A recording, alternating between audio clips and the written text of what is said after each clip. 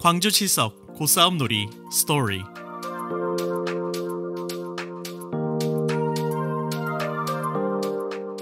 Hello everyone. Let me introduce a traditional Korean folk game, Gwangju Chilseok Gosaum Nori. Gosaum Nori is the product of an agrarian society which its origin can be found from many years of community life. The folk game was continuously passed on since the Three Han period as seasonal customs of the Jeongwol Daeborum in Chilseok village. The village, also known as Utdul village for having abundant dark lacquered color stones, has many interesting folk tales that are being passed on since long ago. Now I'm curious.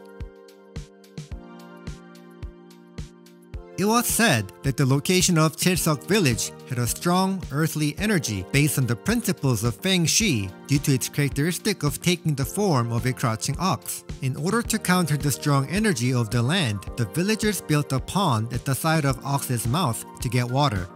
Also, they tied the symbolic reins of the ox to the ginkgo tree, which was the sacred tree of Halmoni Dangsan, and held its tail down with seven stones to prevent significant damage in case of the ox stands up and steps on farmlands.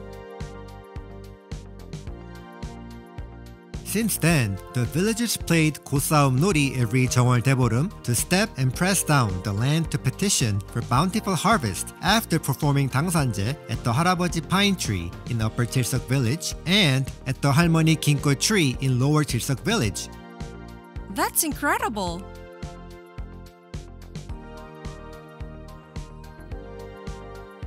But why do they call it Gosaum Nori? Gosaum Nori is a clash between the two goes to overpower the other for a victory. Go means a coat string or a long straw rope tied one end in a circle.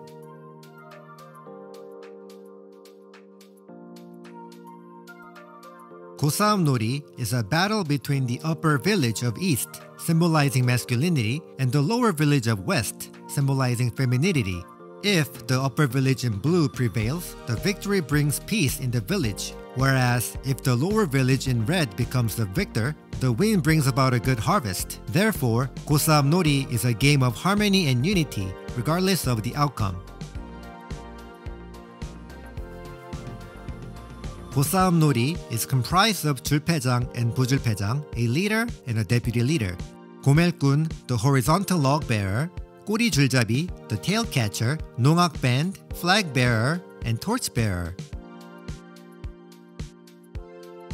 As the leaders of each team start to lead the march, Gomelkuns rush towards each other while shouting out deafening cries. Here, you can feel the spirit of our strong and valiant ancestors from the look of the two goals tussle and their heads rise high. If the game continued without neither side's goals touch the ground, the villagers untied the goals and played a game of 줄다리기 to decide the winner. Wow, the battle cries are deafening.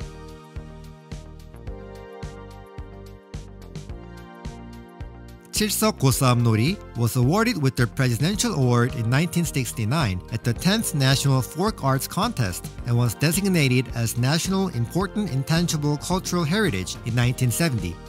The game was demonstrated at the opening ceremony of the 1986 Seoul Asian Winter Games and the 1988 Seoul Olympics and was selected as the best folk game at the Worldwide Cultural Festival, which took place during the eve celebration of 2002 Korea Japan World Cup, showcasing the adventurous spirit and strong vigor of Koreans to the world. Gosaum Nori Festival has become the representative local event, hosting countless tourists annually since 1983. Chilseok Gosaum Nori is a traditional and cultural heritage infused with the spirit and style of Namdo that should be shared with people around the world. So, we all must come together to support the registration process to the UNESCO. Of course, I'll be rooting for that.